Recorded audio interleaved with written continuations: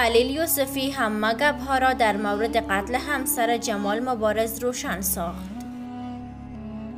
سلام تقدیم شما بیننده های نهایت عزیز.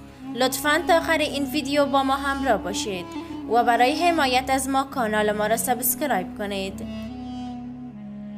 خلیل یوسفی که یکی از اشتراک کنندگان برنامه ابر ستاره و دوست صمیمی جمال مبارز می باشد برای روشن ساختن موضوع و پاسخ برای هموطنان در صفحه اصلی اینستاگرامش چنین نوشت. موضوع قتلی که شما در سوشیال میدیا دیدین و شنیدین هیچ ربطی با دوست و برادرم جمال مبارز ندارد و جمال بعد از جدا شدن از آن زن حتی یک بار هم با او ملاقات نداشته و همه شاهد این موضوع هستند و این موضوع را حتی خود دولت هم خبر داره. متاسفانه ما بدون اینکه فکر کنیم یا مطمئن باشیم در مورد دیگران قضاوت می کنیم من هم بیش از حد ناراحتم. حتی اگر بدترین انسان روی زمین بود اما انسان بود با یک زن. به هر حال موضوع خیلی مهم و دردناک است و هر لحظه در کشور ما این اتفاقات وحشتناک و تلخ در حال وقوع است.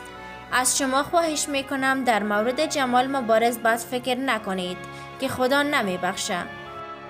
انشالله در همین روزها بعد از پیگیری های قانونی قاتل اصلی پیدا شده و شما هم خبردار میشین. لطفا قضاوت نکنید خواهش می‌کنم. شاید به من هیچ ربطی نداشته باشه و شاید بهتر است من هیچ دخالتی در این مسائل نداشته باشم. اما چون زیاد به دایرکتم پیام می آمد مجبور شدم استوری کنم و بعضی از عرفها را با شما شریک بسازم. متاسفانه من همیشه نسبت به دیگران زود باور بودم و بهای این کارم رو پرداخت کردم. اما با شناخت عمیقی که از جمال مبارز دارم به این باور رسیدم که گاه مرد خیلی مظلومتر از زن است. به هر حال بهشت را برایش از خدای مهربان خواستارم. همه ما یک روز خواهیم رفت و هر کسی به طریقی. تشکر که تا آخر این ویدیو با ما همراه بودید. تا ویدیوی بعدی شما را به خدا یکتا می سپارم. شب روز خوب داشته باشید.